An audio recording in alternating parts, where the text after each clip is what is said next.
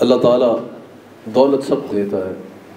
मानने वालों को भी देता है और न मानने वालों को भी देता है। दुनियावी इज़्ज़त जो होती है, जिसको शोहरत कह लें, इकतदार कह लें, वो अल्लाह ताला फरमा बरदार को भी देता है और न फरमान को भी देता है। दुनिया अल्लाह ताला सबको देता है। रिज्क अल्लाह ताला सबको देता है। दौलत का ज़्यादा होना या कम होना, ये अल्लाह ताला की रज़ा या नाराज़गी की निशानी नहीं है। इकतदार का होना या न होना, ये अल्लाह की रज़ा या नाराज़गी की निशानी नहीं है। शोहरत का होना, हमारे जहन में यही मैार होता है यार, जिसके पास दौलत है, वही कामयाब है। जिसके पास दुनिया में शोहरत है, वही कामयाब है। जिसके पास दुनिया में इकतदार है, वही कामयाब है। लेकिन असल कामयाब वो है जो अल्लाह की बारगाह में मकबूल है।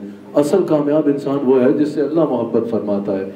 मैं कह रहा था कि दुनिया अल्लाह ताला ने हज़रत सलमान सलाम को भी दी। हज़रत उस्मान गनी रदी अल्लाह तु को भी दुनियावी माल दिया। हज़रत अब्दुलरहमान रौफ़ ये सहाबा में सबसे मालदार सहाबा में गिने जाते थे। दौलत अल्लाह ताला अपने बरगुजीदा बंदों को भी देता है। दौलत अल्लाह ने फ़ेरोन को भी दी। दौलत जो है वो नमरूद के पास भी थी। दौलत अल्लाह ने दे दी। शहरत अल्लाह ताला दे देता है। दुनियावी जो एक वक्ती इज़्ज़त होती है, वो अल्लाह ताला फरमा बरदार को भी देता है और ना फरमान को भी देता है। लेकिन रसूल सलाम ने इरशाद फरमाया, अल्लाह ताला जिसके साथ भलाई का इरादा फरमाता है ना अल्लाह ताला जिसके साथ दायमी भलाई का इरादा फरमाता है, गोया कि जो आखिरत की भी भलाई है, अल्लाह ताला जिसके साथ मोहब्बत फरमाता है, अल्लाह ताला उसको दीन की समझ अता फरमा देता है। अल्लाह ताला उसको अपने दीन की समझ अता फरमा देता है। आप वो लोग हैं, आप अल्लाह का शुक्र अदा करें। चाहे जो आगे बैठा हुआ है, उससे रह के आखिरी तक अल्लाह का इस बात पर शुक्र अदा किया करो, अल्लाह ताला को अपने दीन की खिदमत के लिए किसी की ज़रूरत नहीं है, किसी की ज़रूरत नहीं है। वो वो बेनियाज है। वो चाहे तो हमसे कई बेहतर हैं जिनसे वो काम ले सकता है। इस पर अल्लाह ताला का शुक्र अदा किया करो कि अल्लाह ताला ने आपको अपने दीन की खिदमत के लिए आपका इंतखब फरमाया है।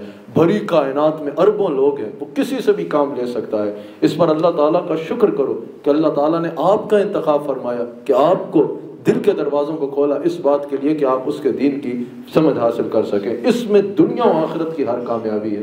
दुनिया और आखिरत की हर कामयाबी है। लेकिन याद रखिएगा, इल्म को इल्म नाफ़े बनाना, जिस तरह हज़रत ने अपने खिताब में कहा, अपनी गुफ्तु में कहा, इल्म को इल्म नाफ़े बनाना ज़रूरी है। सबसे पहले आपको इस बात पर गौर करना होगा कि आपका इल्म इल्म नाफ़े है या नहीं है। अल्लाह करीम ने कुरान करीम में फरमाया ना कि बेशक अल्लाह के बंदों में से हैं जो अल्लाह ताला से डरते हैं, जो अल्लाह ताला से सबसे ज़्यादा डरते हैं। इसकी वजह क्या है? आपको देखा होगा आपने कहीं बिजली के बहुत सारे जहाँ ट्रांसमीटर लगे होते हैं ट्रांसफार्मर लगे होते हैं, बहुत सारी तारें होती हैं, जहाँ करंट का भी ज़ाहरी तौर पे ख़तरा होता है, वहाँ बड़ा सा ख़तरा लिख के लगा दिया जाता है। आपने ऑयल टैंकर्स के पीछे देखा होगा, ख़तरा लिखा होता है। इसकी वजह क्या होती है? ताकि जो आगाह नहीं है, जब वो इसको पढ़ेंगे ना, ख़तरा पढ़ लेंगे तो वो इस बात से आगाह हो जाएँगे कि यहाँ से ख़तरा है। इस बात से उन्हें इल्म हो जाएगा कि यहाँ ख़तरा हो सकता है। अगर इस तरफ़ गए, अगर ये कुछ किया तो इससे ये ये ये ये नतज हो सकते हैं। ये ख़तरा हो सकता है, जान जा सकती है। इसी तरह अल्लाह ताला ने फरमाया ना कि जो हैं, वो अल्लाह ताला की खशियत दिल में बहुत बढ़ के रखते हैं। उसकी वजह यह है कि उनको पता होता है कि अल्लाह ताला, वो अल्लाह ताला की खशियत दिल में बसाए होते हैं। वो अल्लाह ताला के हैबत और जलाल से जो है वो वाकिफ़ होते हैं। जिस तरह वहाँ जाने से पहले ख़तरा पढ़ लेने वाला ये जहन में रखता है कि अगर यहाँ गया तो जान चली जाएगी। उनके लिए जान से कई गुना ज़्यादा ईमान कीमती होता है। हर कदम पर वो ये ख्याल करते हैं कि अगर इस तरफ़ चले गए तो ईमान जा सकता है। ईमान चला गया तो अल्लाह ताला नाराज़ हो जाएगा। अहले तसव्वुफ़ कहते हैं, बिल्कुल जहन्नुम से डरना चाहिए। अजाब कब्र से डरना चाहिए। बिल्कुल इन सारे जो अजाब हैं हजूर जहाँ मुबशर हैं, वहाँ नज़ीर भी हैं। इन सबसे डरना चाहिए। आज बाज वाजीन कहते हैं, भाई, हमें जहन्नुम का खौफ नहीं। जहाँ जन्नत की ख्वाहिश रखना हजूर ने फरमाया, वहाँ जहन्नुम का खौफ भी आपको किसने बताया? हजूर सलाम की ज़ुबान अकदस से ही पता चला। ऐसा जुमला नहीं कहना चाहिए। लेकिन ये याद रखिएगा, सूफिया के यहाँ ये कहा जाता है कि अल्लाह ताला से जब डरना है ना, बिल्कुल जहन्नुम का खौफ भी जहन में रखना है। बिल्कुल अजाब कब्र का खौफ भी जहन में रखना है। दुनियावी आजमाइशों का खौफ भी बिल्कुल जहन में रखना है। लेकिन जब अल्लाह ताला से डरना है तो सबसे पहले डरने की वजह यह ना हो कि वह जहन्नुम में डाल देगा। इमाम गजाली ने कहा कि अल्लाह ताला ने ज़बूर में इरशाद फरमाया था कि सबसे बड़ा जालिम है वो, जो मुझसे मोहब्बत करे इसलिए कि जन्नत मिल जाए, और मुझसे डरे इसलिए कि जहन्नुम में ना डालो। अगर मैं ये तख्लीक ना करता तो क्या मैं मोहब्बत और खौफ के लायक नहीं था? समझ आ रही है या नहीं?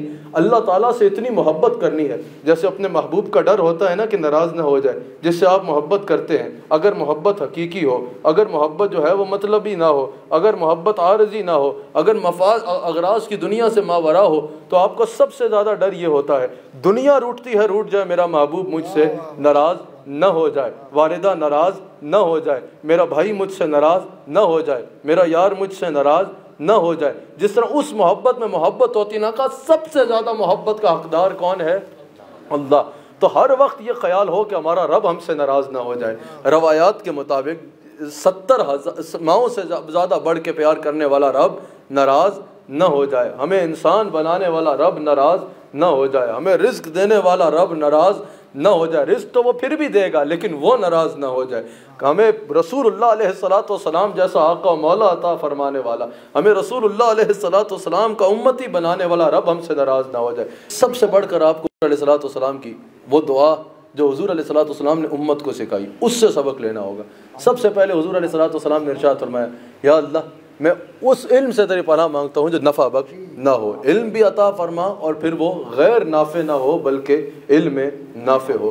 फिर हजूर सलाम ने कहा कि या अल्लाह, उस दिल से पनाह माँगता हूँ जिसमें तेरी खशियत ना हो, जिसमें तेरा खौफ ना हो। तीसरा, हजूर सलाम ने इरशाद फरमाया, दुआ फरमाई कि या अल्लाह, या करीम, पहला, उस इल्म से पना जिसमें इल्म नाफे ना हो, जो इल्म नाफे ना हो। दूसरा इरशाद फरमाया कि उस दिल से पना माँगता हूँ जिसमें खशियत ना हो, जिसमें तेरा खौफ ना हो, और उस दुआ से कि जिसमें कबूलियत ना हो, हजूर सलाम तो मावरा हैं। ये हजूर सलाम ने उम्मत को सिखाने के लिए, उम्मत की रहनुमाई फरमाने के लिए फरमाया। इस सदीस से सबसे पहले जो हमें पता चलता है, वो ये पता चलता है कि इल्म जहाँ नाफे होता है, वहाँ गैर नाफे भी होता है। समझ आ गई?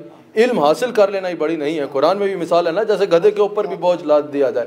मुफसरीन ने इसको तफसील से बयान किया। मौलाना रूम ने तो इस बात का बहुत ज़्यादा जो है अपने अशार में इस्तेमाल किया इसको समझाने के लिए कि अगर इल्म इल्म नाफे नहीं है, अगर इल्म के साथ खशियत नहीं है, अगर इल्म के साथ अमल नहीं है, अगर इल्म के साथ तकवा नहीं है तो ऐसे ही है जैसे गधे के ऊपर आपने किताब लाद दी। इसी तरह अगर आपके इल्म में अल्लाह का खौफ ही नहीं है, उसमें आपका अमल ही नहीं है, तकवा ही नहीं है तो उस वो आपके लिए नहीं होगा। हजूर की वाज हदीस है। ने फरमाया कि अमल के बगैर इल्म की मिसाल उस दरख्त की तरह है जो दरख्त हो, लेकिन उस पर फल ना हो। अगर फल चाहिए तो उसके लिए आपको साथ किरदार और अमल चाहिए होगा। इल्म नाफे भी होता है और गैर नाफे भी होता है। ये बड़ी सादत की बात है कि आप यहाँ पर आए हैं, आप पढ़ रहे हैं, आप दीन की तालीम हासिल कर रहे हैं, लेकिन इन्होंने आपको पढ़ाना है।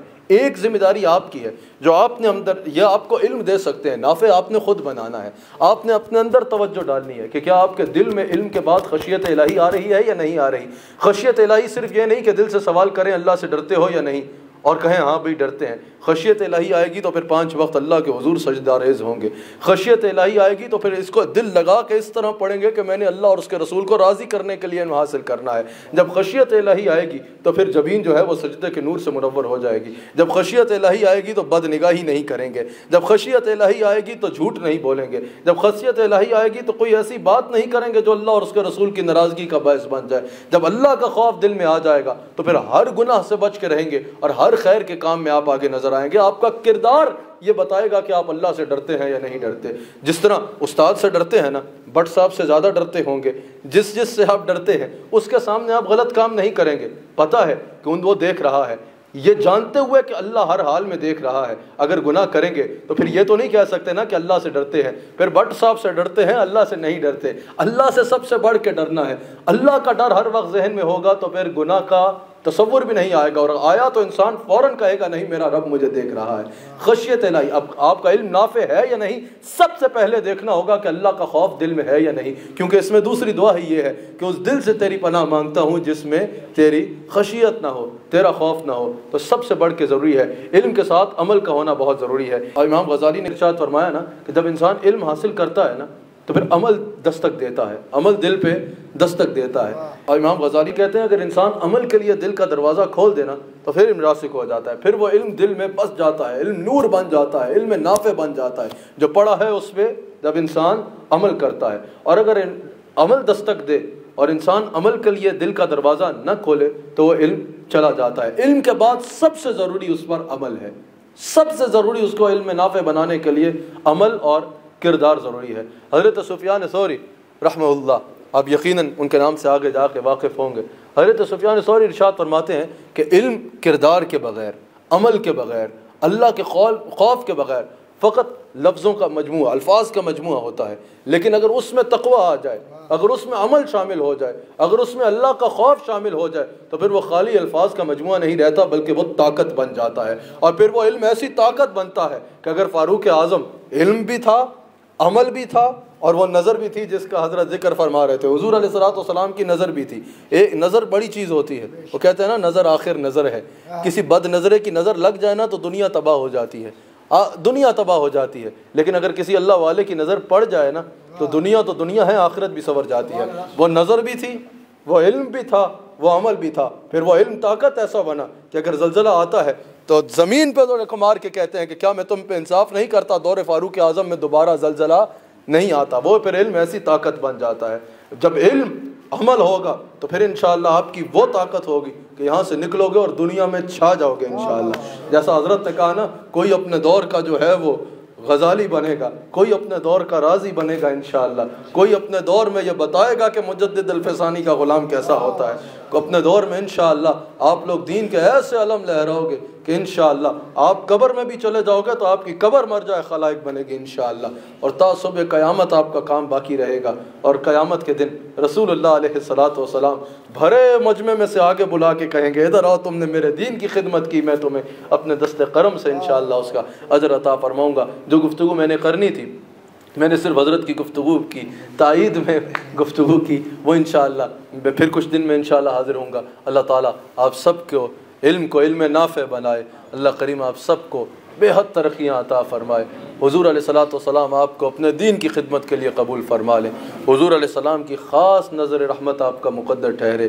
अल्लाह ताला आप सबको दुनिया और आखिरत में हजूर सलाम की रज़ा अता फ़रमाए। इल्म भी अता फ़रमाए। इस इल्म को आपके लिए नूर बनाए।